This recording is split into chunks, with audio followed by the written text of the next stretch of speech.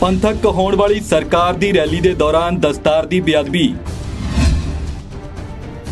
ਪ੍ਰਧਾਨ ਮੰਤਰੀ ਦੇ ਵੱਲੋਂ ਸਿਰ ਤੋਂ ਟੋਪੀ ਦੇ ਵਾਂਗੂ ਉਤਾਰੀ ਗਈ ਦਸਤਾਰ। ਸੁਖਬੀਰ ਬਾਦਲ ਦੇ ਵੱਲੋਂ ਪਹਿਨਾਈ ਗਈ ਸੀ ਪ੍ਰਧਾਨ ਮੰਤਰੀ ਨੂੰ ਦਸਤਾਰ। ਜੀ ਹਾਂ, ਪ੍ਰਧਾਨ ਮੰਤਰੀ ਨਰਿੰਦਰ ਮੋਦੀ ਨੇ ਅੱਜ ਮਲੋੜ ਦੇ ਵਿੱਚ ਕਿਸਾਨ ਕਲਿਆਣ ਰੈਲੀ ਕਰਕੇ ਮਿਸ਼ਨ 2019 ਦੇ ਲਈ ਆਪਣੀ ਪਕੜ ਬਣਾਉਣ ਦੀ ਕੋਸ਼ਿਸ਼ ਕੀਤੀ ਹੈ। ਪਰ ਦੂਜੇ ਪਾਸੇ ਅਜਿਹਾ ਵਾਕਿਆ ਸਾਹਮਣੇ ਆਇਆ ਹੈ, ਜਿਸ ਨੇ ਕਿ ਸੋਸ਼ਲ ਮੀਡੀਆ ਦੇ ਉੱਤੇ ਇੱਕ ਨਵੀਂ ਚਰਚਾ ਛੇੜ ਦਿੱਤੀ ਹੈ। ਰੈਲੀ ਦੇ ਦੌਰਾਨ ਜਦੋਂ ਸੁਖਬੀਰ ਬਾਦਲ ਦੇ ਵੱਲੋਂ ਪ੍ਰਧਾਨ ਮੰਤਰੀ ਦੇ ਸਿਰ ਦੇ ਉੱਤੇ ਦਸਤਾਰ ਰੱਖ ਕੇ ਮਾਣ ਬਖਸ਼ਿਆ ਗਿਆ ਤੇ ਕਿਰਪਾਨ ਵੀ ਭੇਟ ਕੀਤੀ ਗਈ।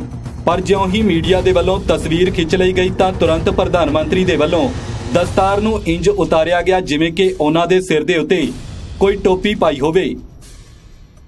ਇਹ ਵੀਡੀਓ ਵਾਇਰਲ ਹੋਣ ਤੋਂ ਬਾਅਦ ਸੋਸ਼ਲ ਮੀਡੀਆ ਦੇ ਉੱਤੇ ਇੱਕ ਨਵੀਂ ਚਰਚਾ ਛਿੜ ਗਈ ਹੈ। ਤੁਹਾਨੂੰ ਦੱਸ ਦਈਏ ਕਿ ਸਿੱਖ ਧਰਮ ਦੇ ਵਿੱਚ ਦਸਤਾਰ ਦੀ ਬਹੁਤ ਜ਼ਿਆਦਾ ਮਹੱਤਵਤਾ ਹੈ ਤੇ ਪ੍ਰਧਾਨ ਮੰਤਰੀ ਦੇ ਵੱਲੋਂ ਦਸਤਾਰ ਦੇ ਨਾਲ ਕੀਤਾ ਗਿਆ ਅਜਿਹਾ ਸਲੂਕ ਸਿੱਖ ਭਾਈਚਾਰੇ ਦੇ ਹਜ਼ਮ ਨਹੀਂ ਆ ਰਿਹਾ।